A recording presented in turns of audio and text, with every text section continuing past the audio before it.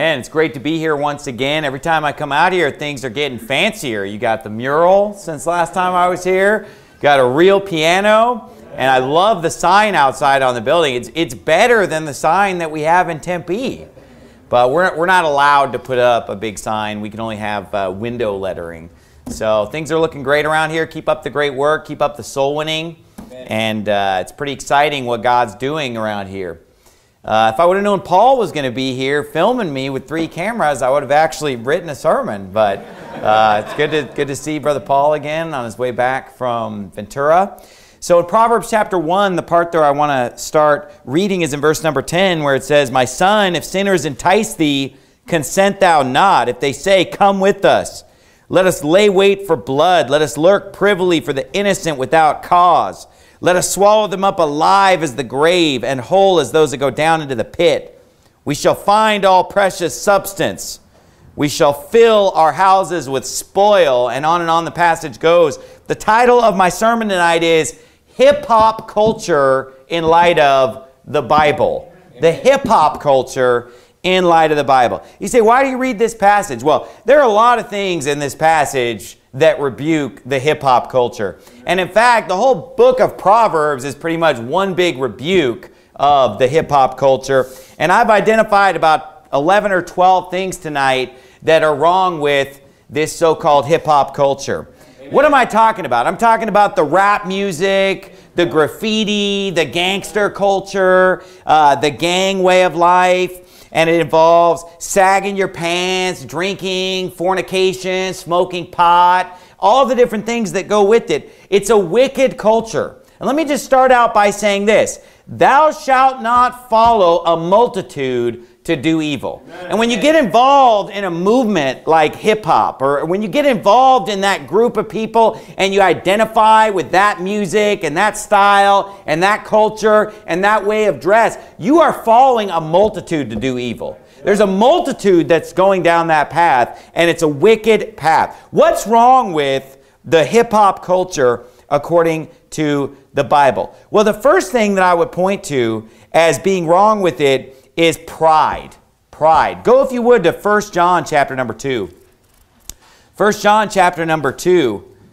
One thing about rap music that I've noticed, just comparing it with all the other types of worldly music, and obviously there are lots of other wicked cultures out there, and we could go after uh, other styles and so forth. But tonight I want to talk about the hip hop culture. And one thing that's kind of unique to the rap music and the hip hop culture is that they're probably the musicians who talk the most about themselves in the song.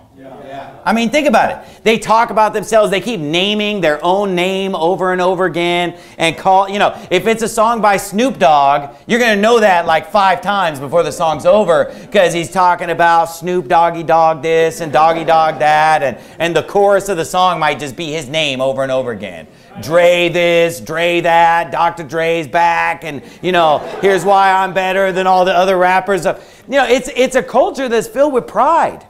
Amen. And look what the Bible says in, in 1 John chapter 2, verse 15. It says, Love not the world, neither the things that are in the world. If any man love the world, the love of the Father is not in him. For all that is in the world, the lust of the flesh, and the lust of the eyes, and the pride of life, is not of the Father, but is of the world. And the world passeth away, and the lust thereof, but he that doeth the will of God abideth forever. And the Bible here is mentioning these three major problems with the world the lust of the flesh, the lust of the eyes, and the pride of life. And the hip hop culture embodies all three but especially the pride of life. I mean, think about it's a culture that glorifies what?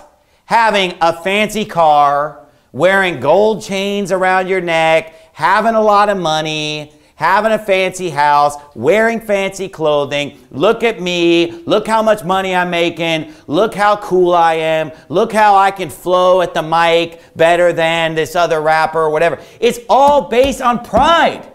And the Bible says that everyone that is proud is an abomination to the Lord.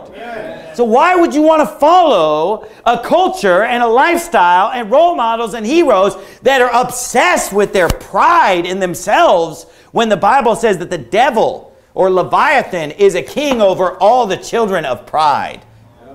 It's wicked because it promotes being prideful. Obviously, the hip hop culture also promotes the lust of the flesh and the lust of the eyes. Look how the hip hop culture teaches women to dress like a hoochie mama. The short shorts, the low cut top, the tight fitting clothing, dressing like a hooker and a whore. In fact, in the hip hop culture, you just that's what you call women, right? Just hoes. Just they're just a hoe. Just a whore. And that's not even considered a bad thing to them. This is what's glorified in the hip hop culture. So there's your lust of the eyes right there. What about the lust of the eyes? Looking at all the cars and looking at the clothing and looking at the money and the drugs and the partying and lusting after those things with your eyes. Or lust of the flesh because we know that the hip hop culture promotes fornication. It certainly doesn't promote getting married and, and having children and being a family man and being faithful to your wife.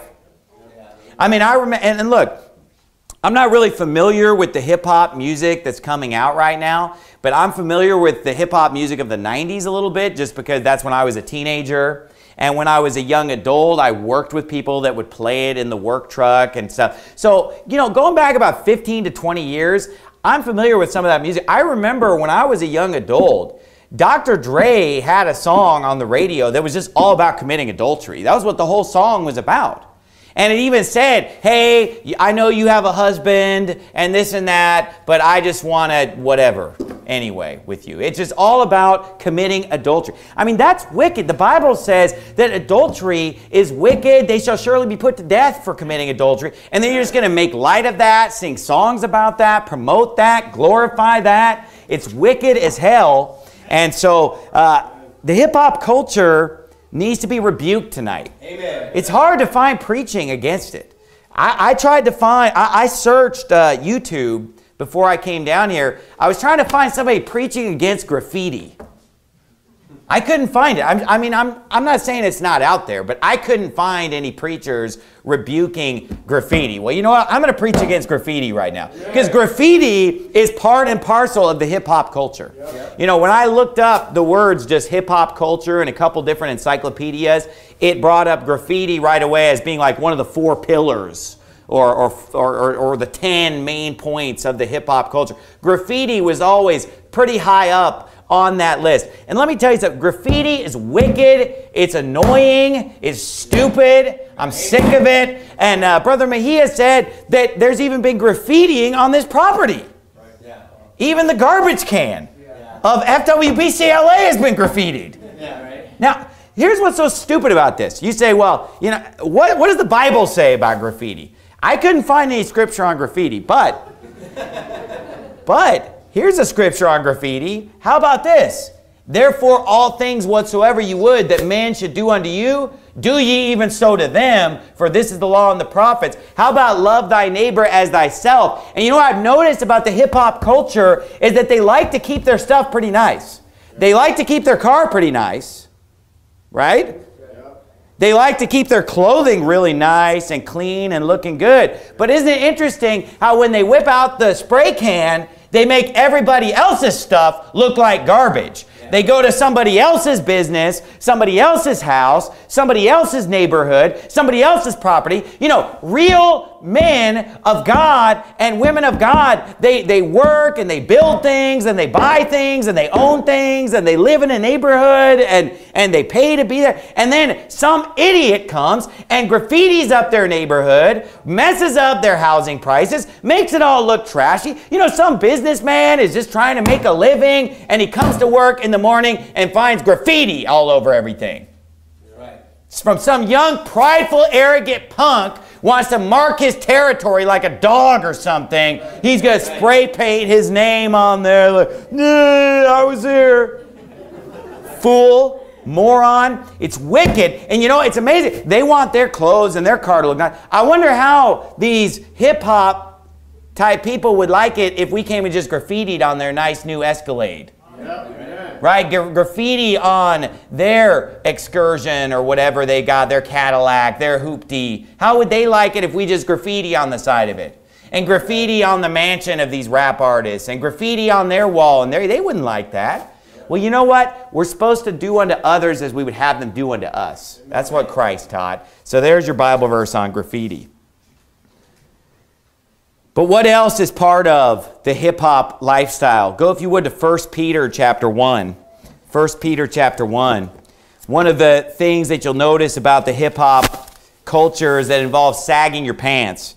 Now, when I was a kid and a teenager and, and, and wearing baggy clothes first kind of became popular and became a thing, uh, people would sag their pants. But they didn't sag them to the level that we're seeing now.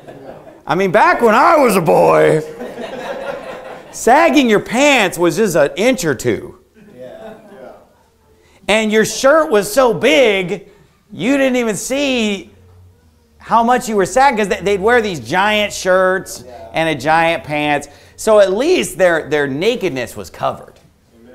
And at least you didn't see their rear end and their underwear. But nowadays is this thing where they have their pants sagged down so far that their entire rear end is exposed in their underwear.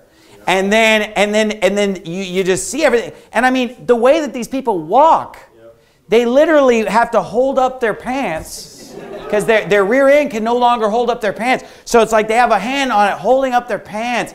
And it's like the, their pants start like here. You know what I'm talking about? Who's seen that? It's everywhere. I mean, their pants start down here below the inseam.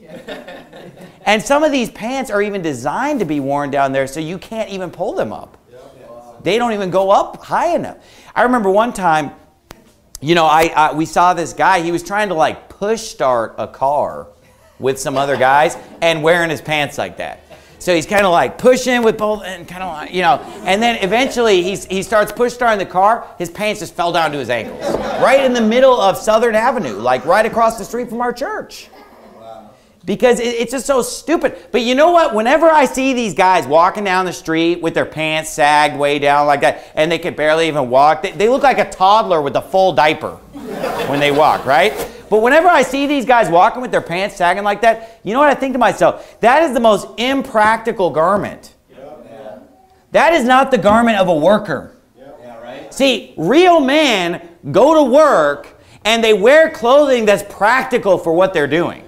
You know, they wear a shirt and pants and shoes that they can move around in, that they can do stuff in. They're not going to wear something that takes their hand as a full time job just to keep it from falling down. And it's the stupidest thing. Anybody who's not involved in the hip hop culture looks at people with their pants sag down like that and they think that that person looks like a complete idiot. Only their fellow hip hop brothers and sisters would even look at that and think that it's cool. Nobody else thinks it's cool. Everybody else thinks you're a fool. And you need to grow up. You need to become a man Put away childish things, and you need to gird up your loins like a man. There's your Bible verse. You say, oh, you're preaching your opinion. Preach the Bible. Yeah, gird up your loins like a man. Have your loins girt about with truth. Okay? Your belt is meant to go around your waist. It's meant to be girding your loins, not to be girding your mid thigh. It's nonsense. Look at 1 Peter chapter number 1 Verse 13, the Bible reads, Wherefore gird up the loins of your mind, be sober, and hope to the end for the grace that is to be brought unto you at the revelation of Jesus Christ. He said, Gird up the loins of your mind. And let me tell you something the way that you dress will impact the way that you act and the way that you live your life.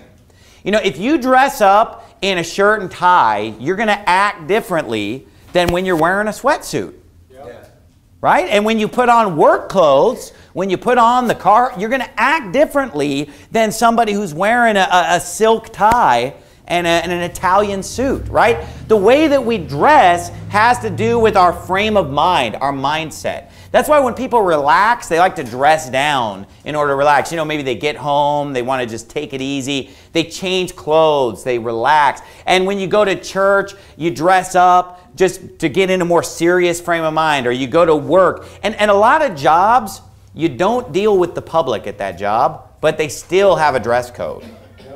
Now, other jobs have no dress code if you don't deal with the public. And you can come in in your pajamas and whatever. But it's been shown that people who actually dress up for work actually perform better. In fact, one of the best pieces of advice that is often given to people who have to work from home, let's say they have a home office, is get up, take a shower, dress up to go to your home office, and you'll do a better job at work because it puts you in a work frame of mind. So, girding up the loins has to do with your clothing, but here God says, gird up the loins of your mind.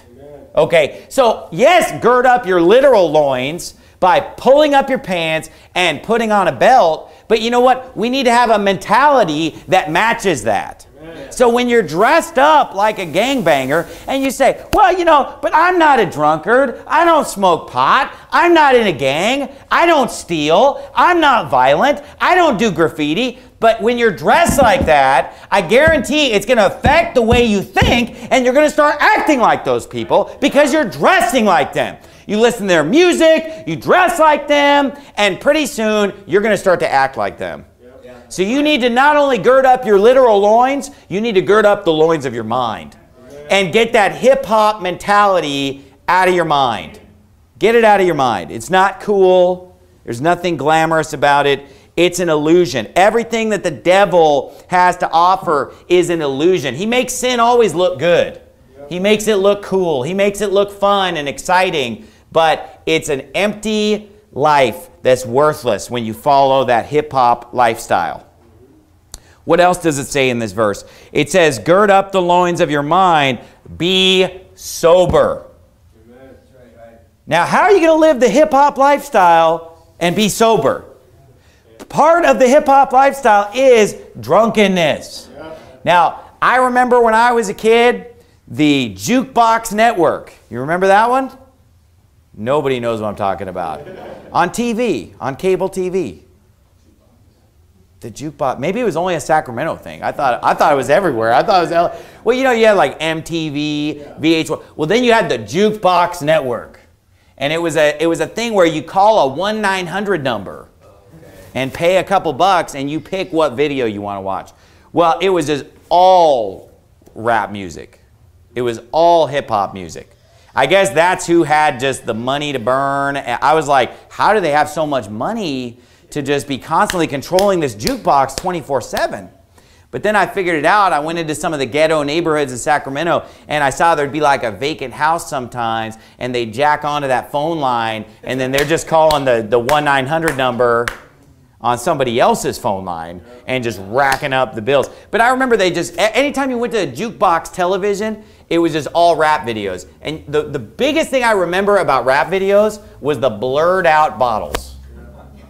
Every rap video is just all these bottles of brown liquid and clear liquid, but all the labels were blurred out. It was some kind of a rule where they weren't supposed to show the labels on the drinks. So I just remember all I can, if I think of a rap music video right now from my childhood, I just picture a bunch of guys just holding bottles, just, yeah, you know, and it's just all these blurred labels. It's all about drunkenness. It's all about drinking. It's all about alcohol. It's all about the 40, right? Or, or whatever the liquor. Wine is a mocker, strong drink is raging, and whosoever is deceived thereby is not wise. Amen. It's wicked. And not only when the Bible says be sober is it telling us not to drink alcohol, it's also telling you not to smoke pot. Right. Because when you're smoking pot, you're not sober. Right. Now, if you would flip over to Genesis chapter 1 because there are always going to be people who try to justify sin. And no matter what the sin, people will try to find a way to justify it and say, well, you know, the Bible doesn't really say that it's wrong. Whether it's drinking, whether it's fornication, uh, whatever the sin, they'll, they'll find a way to justify it. And smoking pot is one that I've seen more and more people these days trying to justify as Christians that they can be a good, godly, Bible believing Christian and still smoke pot. That, hey, there's nothing in the Bible against smoking pot. It just says not to be drunk. Well, it doesn't just say not to be drunk, it says to be sober. Right. And you're not sober when you're smoking pot. Okay. But they'll point to this verse. I've heard them you know, point to Genesis chapter 1, verse 29. And God said, Behold, I've given you every herb bearing seed. Amen? God gave us marijuana. I've given you every herb bearing seed which is upon the face of all the earth, and every tree in the which is the fruit of a tree yielding seed. But look what it says To you it shall be for meat. So what's he saying here?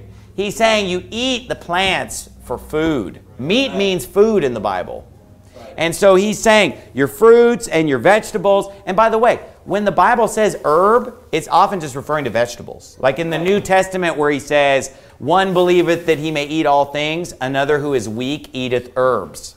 It's not saying he's just eating herbs and spices, what we would think. It's talking about eating a vegetarian diet that the, the, the, weaker in the faith would eat only herbs. He doesn't realize that every creature of God is good and nothing to be refused, and that God gave us uh, the animals to be our food as well. But they just point to this and say, well, see, you know, pot is a herb, and smoke the herb, man, you know, Jamaica, man. Look, he said it's food, number one. But number two, this is before man is kicked out of the Garden of Eden. So this is before the earth is even cursed. So at this point, everything is very good when God looks on the earth. But think about how many poisonous plants there are out there right now. So to get this attitude that says, oh, every plant is for our food, really? What about the berries that are poisonous?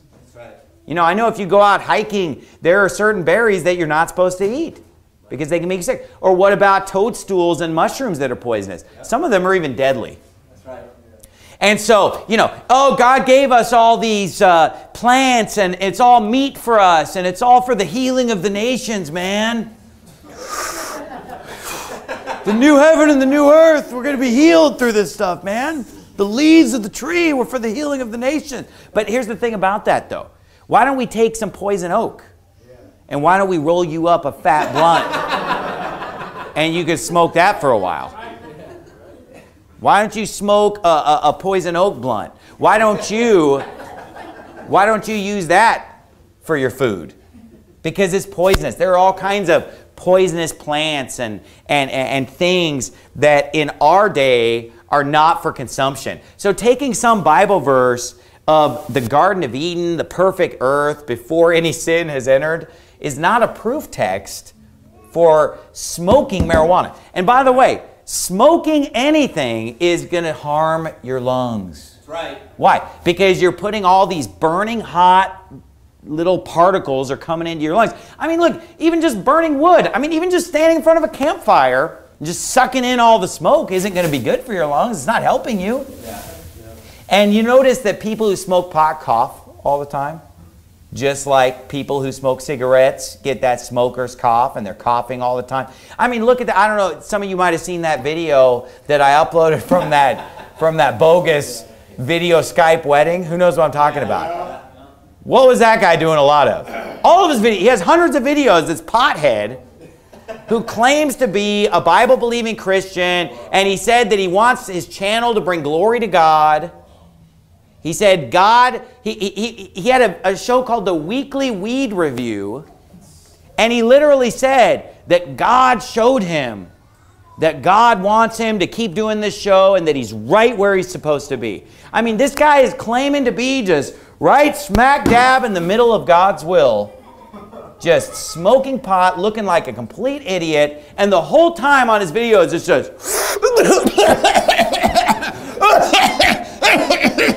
and then he has some bong and he takes a hit off the bong. it's a fool. And you know, there's always so much propaganda. Look, if you want to just Google it or go on YouTube, you'll find so many people telling you, oh, smoking pot's good for you. Smoking pot, it doesn't damage your lungs at all. It's actually healthy. It's actually beneficial. You know what? Every pothead has got a channel like that. Every pothead has written an article like that. But you know what? We've all known people who actually smoke pot, and we all know that it's not making them any smarter. Yep. That's right. I've been around potheads. I know what they're like. You know what it does? It makes them apathetic. It makes them not have any drive or ambition. It makes them just want to sit around and be an idiot and goof off and not live a serious life. Hey, you need to grow up. You need to be sober. You need to gird up the loins of your mind. You need to get rid of that trash and get a clear mind and get out there and do something with your life. Get motivated. Hey, look, don't give me some drug to slow me down. Why would I want some drug to mellow me out? I don't want to be mellowed out. I want to get more fired up. Amen. Give me some downer, some depressant, some drug that's going to make me cool and, and make me like Bob Marley or something. Not trying to be Pastor Marley up here. I'm not trying to be a spiritual Bob Marley. Hey, I want to get up here and I want to be amped up. I want to be fired up. I want to be thinking clearly. I want to be excited about something, passionate about something, zealous about something, care about something. Not just some pothead that just sits around and hangs out around the house and just smokes pot and chill. I just needed to help me to relax. No, you need to sit on a nail, buddy, and get up and do something for the Lord right. and get out there, get a job, build something, make something, do something with your life. That's good. Smoking pot is wicked. Drinking is wicked. Graffiti is destructive, it's harmful, it's annoying, it trashes the place, it's wicked. What about the love of money? Go to 1 Timothy chapter 6. 1 Timothy chapter 6. You know, the love of money is a huge thing in the hip hop culture. I mean, my mind on my money and my money on my mind. Right? I mean, that's what it's all about. See, to the, the hip hop culture, success is making money. Right? It's that's success. I mean, success is driving a Cadillac. Success is driving an Escalade. Success is having the spinners and the tinted windows and the hydraulics and having money and barbecues every day and all this stuff. Look, that's what it's all about. That's what they want out of life. You know, that's not what our life should be about as Christians. The love of money is the root of all evil. And when they're not holding up their bottles and going like this, you know what they're holding up? $100 bills. Because it's all about the Benjamins, right? And they're holding up their $100 bills and showing off their money, gold jewelry, right? Gold chains, the earrings, the necklaces. You know that's what it's about. It's about flaunting wealth, flaunting money. It's about loving money. The Bible says in 1 Timothy chapter number 6, verse number 10. Well, let's start in verse 9. But they that will be rich, those who want to be rich, fall into temptation and a snare, and into many foolish and hurtful lusts, which drown men in destruction and perdition. I mean, people who want to be rich, they fall into all kinds of foolish and hurtful lusts. And it says, The love of money is the root of all evil, verse 10, which while some coveted after, they've erred from the faith and pierced themselves through with many sorrows. But thou, O man of God, flee these things and follow after righteousness, godliness, faith, love, patience, meekness. Now let me ask you this. Do any of those words in verse 11, do any of those remind you of the hip hop culture at all? Like when you think of righteousness, when you think of godliness, faith, love, I mean, is it love when all the women in their life are hoes and female dogs? Is that love? Is that godliness? No. He said faith, love, patience, meekness. Okay, meekness? No way. Just and you know what? God says that it's an abomination the proud look. Right? Not only is everyone that's proud an abomination to the Lord, but these six things that the Lord hate, a proud look.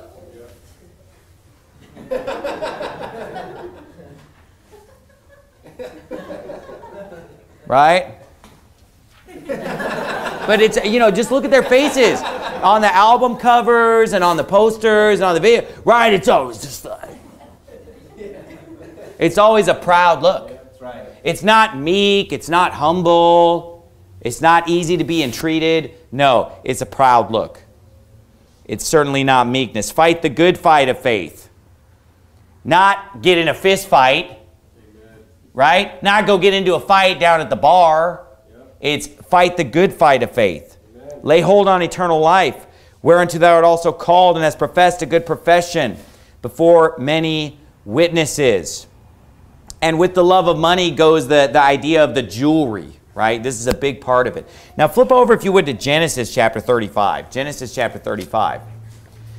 You know, when it comes to the jewelry, the Bible tells us in the New Testament that women should not wear gold and pearls and costly array. They shouldn't be decked with a lot of expensive clothing and expensive jewelry.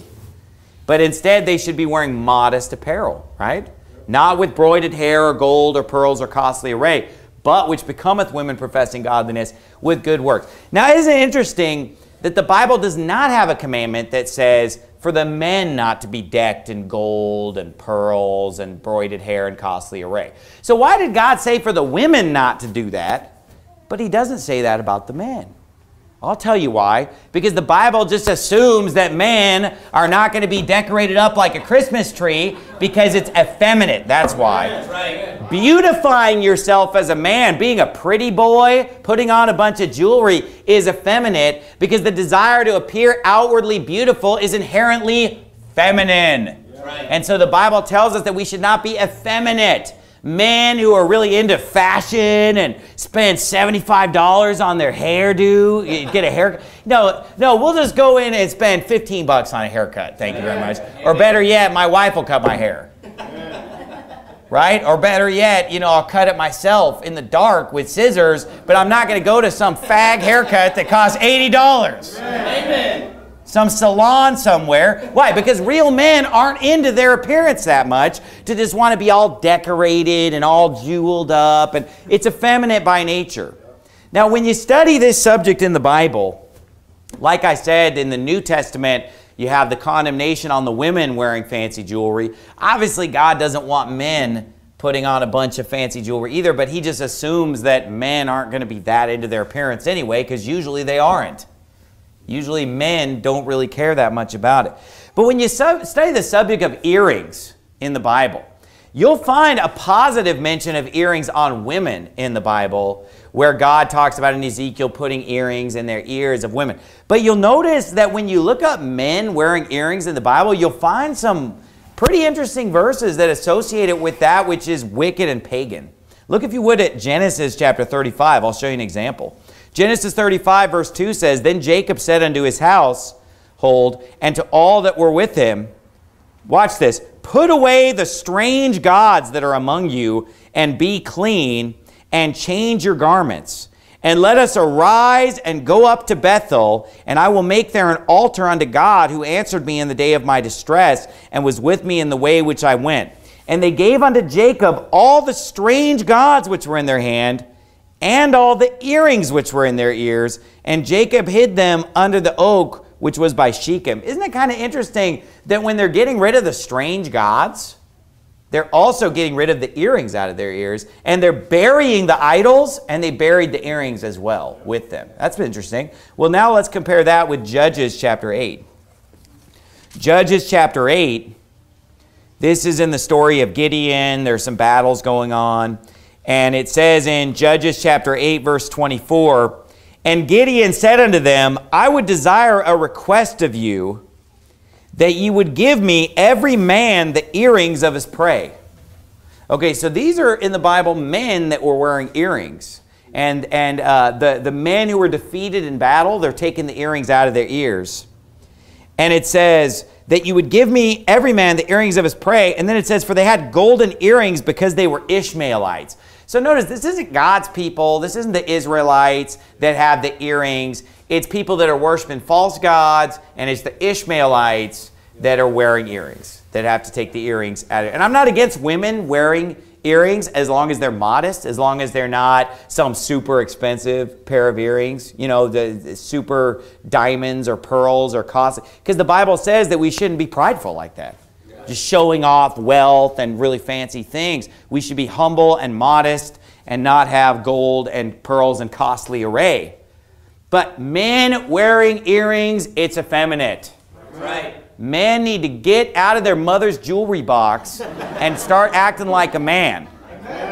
Okay? And I remember back when I was a, a kid, again, if you wore the earring in the left ear, you're straight. And if you wore the earring in the right ear, you're a sodomite. Remember that? Is that still how it is? Yeah. Or I think now it's just there's so many sodomites anymore that you, you can't even identify them like that.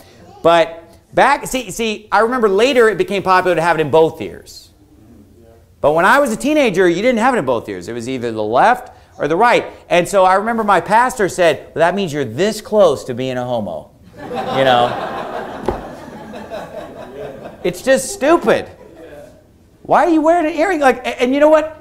Teenagers, kids, they want to get rebellious and they dress like a punk and whatever. But it's like you're you're 40 and you got your earring. You're 50.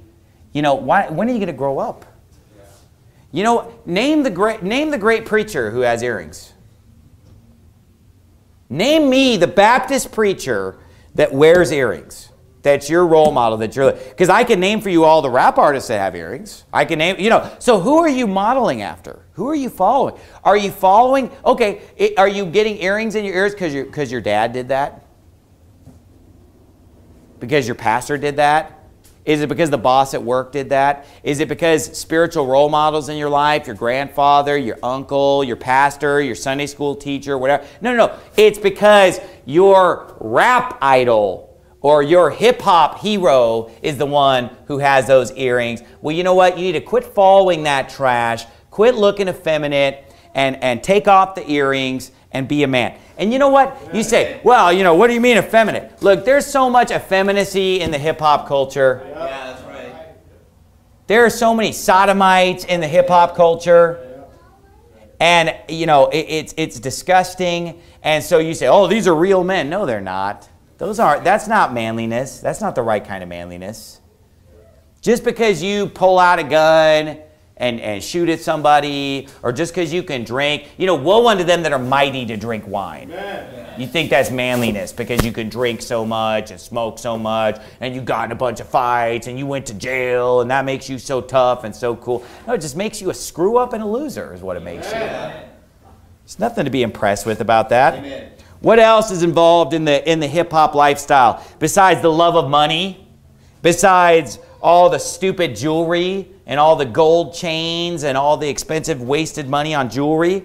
Besides smoking pot? Besides getting drunk? Besides graffiti? Besides the pride and the arrogancy and the proud look that the Lord hates? Besides sagging your pants and looking like you have a dirty diaper? I'll tell you what else is involved in it. Stealing. Yep. Yeah. Stealing. The Bible said, Thou shalt not steal. Let him that stole steal no more, but rather let him work with his hands and be honest and have to give to those that need. But the hip hop lifestyle is all about stealing, Yeah. right? It's a violent culture. If you listen to the lyrics of the rap music, what do they talk about?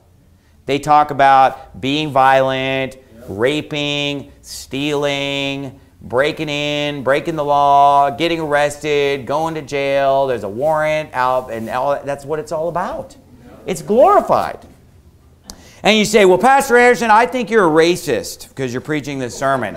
Because you're, you're preaching against black people today. Well, you know what? That's a lie because there are plenty of Hispanic people that are mixed up in the, in the hip hop lifestyle.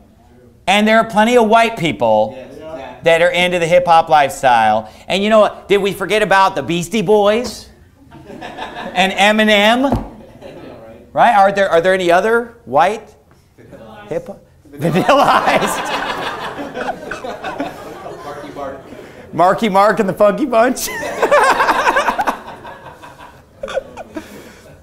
but look, and look, it's the same garbage. And you know what? We we see the white people sagging the pants, Yeah. the gold chains, the baseball cap sideways, smoking pot, getting drunk. This has nothing to do with race. It's not about race. And you know what? The- yeah, are there a lot of black people that are involved in the hip hop culture? Yeah, it's part of what's destroying their neighborhoods. Yeah. And you know what? I'm sick of this racial garbage where uh, it seems like being a white supremacist now is is kind of like it's kind of taking off a little bit amongst certain people because the media is always trying to stir up like races against each other and black against white. And it seems like I'm just getting all these comments on my channel lately telling me, "Hey, you need to stand up for the white race," and you you know you're like they because because they think that I'm too inclusive. Because I am inclusive, because we're all of one blood. Amen? Amen. And then they say, oh, well, can't you see? You know, and then they'll give a bunch of statistics about black America and tell me, see, that proves that white people are better. But you know what? That's not what that proves because it's not the fact that they're black, it's the hip hop culture that's destroying their lives. And look, you look at the statistics 70%. We just put out a documentary about Iceland, and at the beginning it mentions that 70% of African American young people are being raised in a home without their biological dad. 70%. 70%. Now look, it's not because they're black, because you know what? 30% are doing it right. And you know what? I would guarantee you anything that the 70% of black people who are producing children out of wedlock and the children are being raised by a single mother, you know, I venture to guess that for the most part, that's probably the 70% that are into the hip hop culture. And I have a sneaking suspicion that the 30% of black people, where the mother and the father are in the home raising their children, are not into hip hop. It has nothing to do with their genetics, it has nothing to do with the color of their skin. It has to do with Dr. Dre and Snoop Dogg and NWA and Public Enemy and all this junk that they're listening to. And if white people listen to it, they're going to screw up their lives the same way. And if Hispanic people listen to it, they're going to screw up their lives the same way. Right. Right. And you know what? Black people who actually love the Lord and actually live a respectable life, they hate hip hop more than I even do. Because they know what it's doing to their culture, they know what it's doing to black America today. Hey, the urban ghetto black culture today that's based on hip hop, it's of the devil, it's wicked, it's ruining people's lives. It is not a racial issue, it's a sin issue. Amen. Nothing to do with, and you know what? People just want to pull that out, and then preachers are afraid to preach on this stuff. Then they're afraid to preach against the graffiti and the rap music and stuff. No, I'm going to call it out. Call me a racist if you want, because you know what? Some people are just going to call you racist no matter what you do. But you know what? If you really love black people, you tell them the truth and tell them to throw their stupid rap music in the trash. Amen. If you love people, you're going to tell them the truth. It's drinking that's the problem. It's welfare that's the problem. It's pot that's the problem. It's stealing that's the problem. It's pornography that's the problem. It's sodomy that's the problem. It's all this other vandalism and gang banging, all this junk. That's the problem. It has nothing to do with the color of people's skin. That's nonsense. Amen. It's junk. That's just an excuse for black people to just hide behind so that they could just continue to be a loser because they'd say, well, you know, you just don't understand what it's like to be black. No, why don't you show us how to be a godly black Christian? And you know, everybody's got an excuse.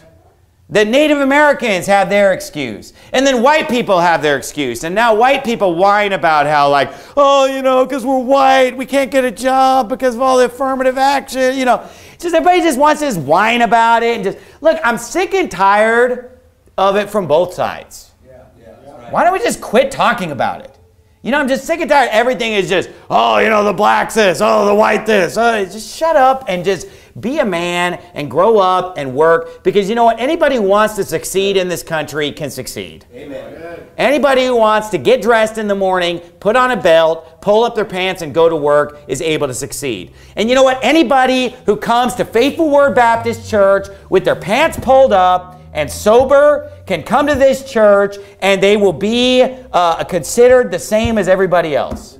Rich, poor, white, black, Jew, Gentile, it doesn't even matter. In Christ, we're all one in Christ Jesus. Amen. You know, look, I would love to see, I would love to see a whole generation of black preachers that would rise up and be independent fundamental Baptists like us, Amen. right? And call their people to repentance That's right. And get them out of this culture. So don't don't come at me with that, oh, this is a racial. So shut up. And you know this whole Black Lives Matter thing, let me just go off on a tangent. It's a fag website. Yep. You go if you go to that Black Lives Matter website, you know what? It's all about sodomites. It's what the whole website's about. Click on it. What we believe. It's like a church. You know how churches have a tab called What We Believe? Yeah. I went a couple days ago to blacklivesmatter.com and I went to the What We Believe tab and it said, "Oh, we affirm the LGBT. We affirm the transgender." It was just all it had several points promoting sodomy promoting abortion, promoting wickedness. And then you click on their staff of, of the people who run it, and it has to tell you what pronoun to call each person on their staff. It literally go if you look, it, it lists the staff and it says like this person used the pronoun he, this one used the pronoun they, and then the little bio when it talks about them, even though there's only one person, it keeps calling them they. They that they like this, they like that, they do this, they do that. That's garbage. You know, you need to get off blacklivesmatter.com if you're black and get on faithfulwordbaptist.org and start listening to some Bible preaching. And everybody on staff uses the same pronoun, he. And you can listen to some Bible preaching and quit worrying so much about being black and start worrying about being a Bible believing Christian. You know, and, and I don't care about being white. You know, if somebody asked, I, I did an interview earlier today. Uh, it was like a TV interview, and the question was like, "So, you know, how do you feel about you know white people this and white people that?" And I just said like, I don't, I don't really identify as a white person because I like I don't care about the plight of white people in this world. You know what I mean? Like that's just not a thing to me. You know what I care about the plight of God's people. That's right. And I have way more in common with a Chinese person who loves the Lord Jesus Christ than some white person who rejects Christ. Amen. I have no I, what fellowship hath he that believeth with an infidel? Amen. Care how white you are. So we need to get off this racial thing. And you know what? We and part of the hip hop culture, it pushes that racial divide a little bit. And tries to promote, hey, be proud to be black, be proud to be Hispanic white pride, Latino pride, La Raza, and, and, and black pride. No, no, no. Him that gloried, let him glory in the Lord. Amen. That's another garbage aspect of the hip hop lifestyle. And you know, these white rappers like Eminem, what a joke. That's right. What a loser. You know, I remember one time, like 10 years ago, Brother Jimenez came to visit me in Phoenix, and he was staying at a hotel, and he, he was driving back to the hotel, and he, he could hear somebody's stereo from their car. And uh, for a minute, he thought that they were listening to my preaching. And he was like, he was like, is this guy listening to Pastor Anderson? You know, because he heard yelling. And it was like, and the yelling was something about, I hate faggots, or, you know. So he's like, he's like, are these people listening to Pastor Anderson? So he rolled down his window, it was Eminem that they were listening to. But, but here's the thing about that. But then Eminem, a few years later, is performing with Elton John. Yeah, right.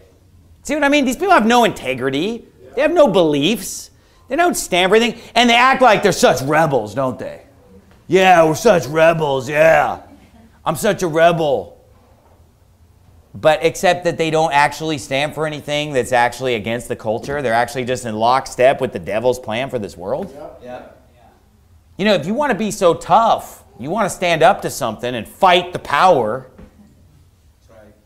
You know, that's what we're doing as fundamental Baptists. We're fighting against what? Amen. Not Amen. flesh and blood, but against rulers of the darkness of this world. We're fighting against principalities and powers, That's right. spiritual wickedness in high places. So if you want to fight, oh, fight the power, you're playing right into the devil's hands right? And you're playing right into the politicians' hands. You're playing right into the liberal Democrats' hands. You're playing right into the New World Order's plan right there. Fight the power. You're controlled.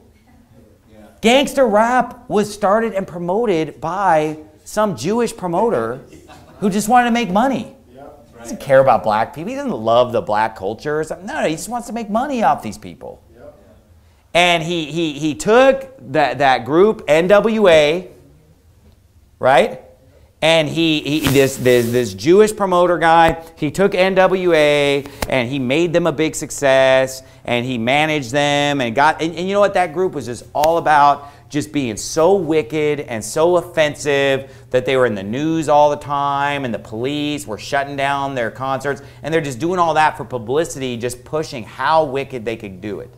How they could just get up and say the most vile, filthy things about women, about fornication, about adultery, about violence.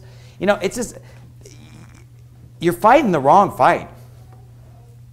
You know, we need to get in the Lord's army and fight his battle. That's the power that we need to be fighting. We need to fight against the prince of the power of the air, the devil.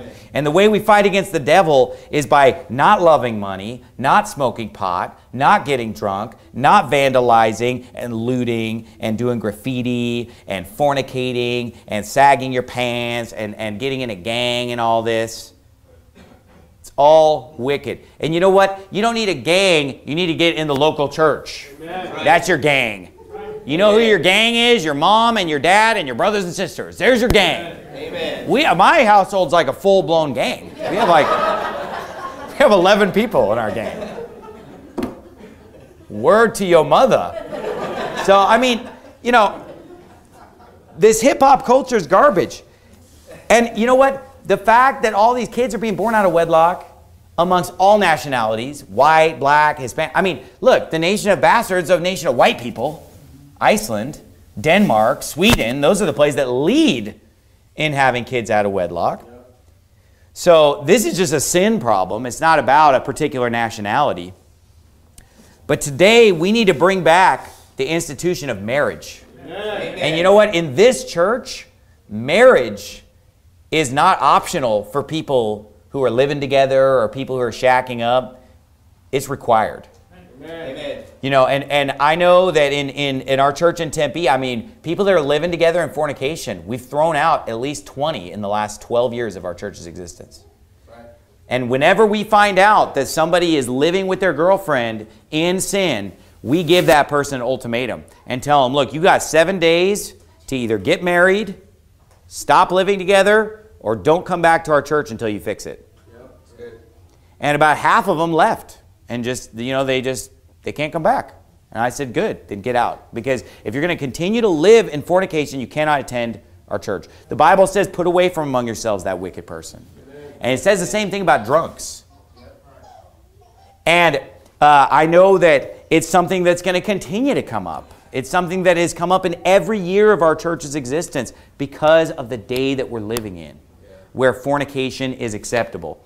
And let me tell you something else. This new garbage doctrine that says you don't need a marriage license, Preach it. Amen. that's not allowed either. Right? Amen. You, you need to be legally married. And we've all known people who've done this. You know, I talked to Brother Mejia. He said he'd known a bunch of people where they say, oh, my wife this, my wife that. But then when you dig deeper or pin them down, it's like, oh, well, we're not really married. I worked with a guy like that. And he'd always talk about his wife this, wife that. One day I asked him, I said, well, how long have you been married?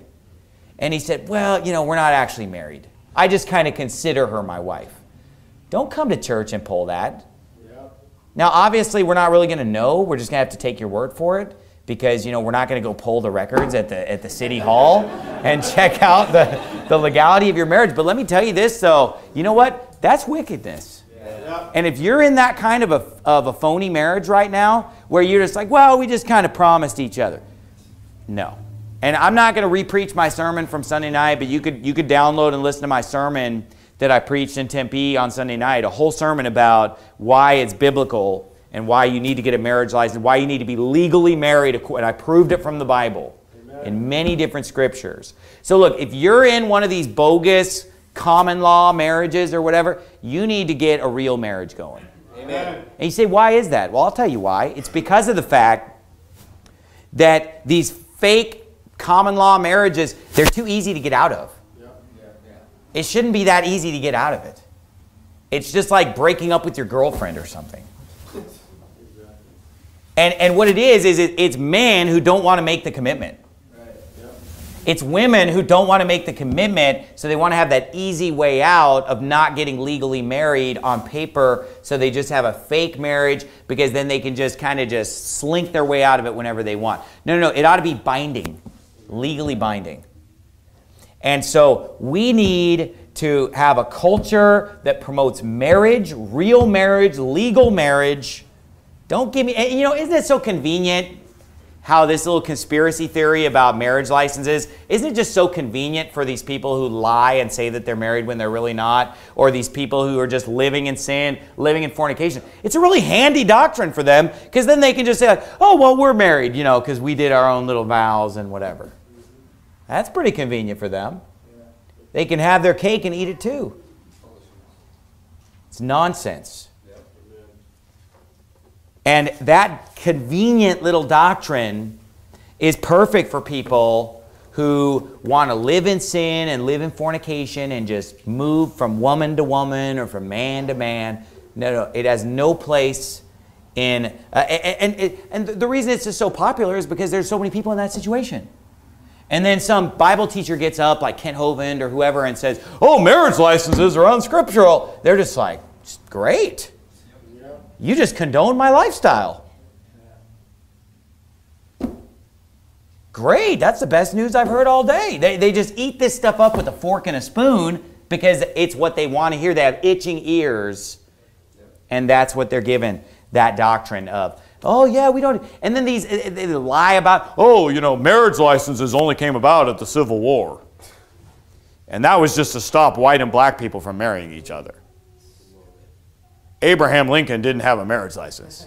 And then I Googled it, and I Googled Abraham Lincoln's marriage license, and it came up in like 0.03 seconds.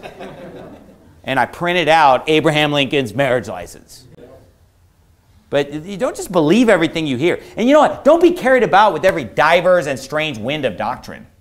You need to be rooted and grounded in what you believe and not just believe every crazy new thing that you hear. Look, your parents, your grandparents, your great grandparents, they got married, they got the license. People have been doing it for hundreds of years because it's legally binding, it's a Christian tradition, it's what we do because we don't switch wives just like, like we're just changing girlfriends or changing jobs or changing the tires on our Cadillac or our hoopty. And you know what? This hip hop culture, it's garbage. The rap music, you need to go home and take all that gangster rap and throw it in the trash. I'll bet you there's people even in this room right now that have this junk in their collection right now. I guarantee you that there are people in this auditorium that still have Snoop Dogg and Dr. Dre or whatever the new guys are that's probably the same thing. You know, you need to go home and just throw that stuff out and get rid of it. And you need to also tear down those idols even in your heart. And you need to start buying clothes that fit. And you need to start wearing a belt and pulling up your pants. And you know what? If, look, if a, if a visitor walks in dressed like that, obviously we want to treat them well and reach out to them and show them the love of Christ. But you know what? If you're a regular member here, to, you know, I wouldn't be surprised if Brother Bruce Mejia doesn't just tell you, hey, why don't you pull up your pants? What are you doing dressing like that? Why, you know, why are you coming here like that? You should know better than that. Yeah, Grow up. Be respectful of God's house. Be respectful of yourself and the people around you. And so the hip hop culture is ungodly for all of these reasons and more. Let's bow our heads and have a word of prayer. Father, we thank you so much for your word, Lord, and we thank you so much for a life that's worth living, that's not about how much money we can get and, and what kind of pimped out ride we can drive or what kind of fancy house or swimming pool or, or, or what we can drink and snort and smoke, Lord. Thank you so much, Lord, that we actually have a life that's worth living, Lord, that, that we, we can win souls and we can read the Bible and we can enjoy true love eh, within marriage between a husband and wife. We can, we can love our parents and our brothers and sisters and our children, Lord. I pray that no one who's in this room tonight would ever smoke a joint ever again, would never take a drink from a, a, a 40 ever again. would never look up to or, or lust after the lifestyle of a rap artist ever again, Lord. I just pray that we would put this hip hop culture and hip hop mentality far from us, Lord. And I pray, Lord, that through soul winning and through the efforts of this church, there be a great revival, Lord, amongst the black community, that many people would receive Christ as Savior, Lord, and amongst the Hispanic community and amongst all people, Lord, that people would be pulled out of darkness and into the glorious light of the gospel, Lord, and that people would, would get out of this uh, hip hop lifestyle and become godly Christian people, Lord, that, that, that follow the principles of the Bible, which are pretty much opposite of hip hop in every possible way. Lord, we love you and thank you for saving us in spite of our sins, Lord. Help us to be more like you and to grow in grace and in the knowledge of our Lord and Savior. And in Jesus' name we pray, amen. Amen.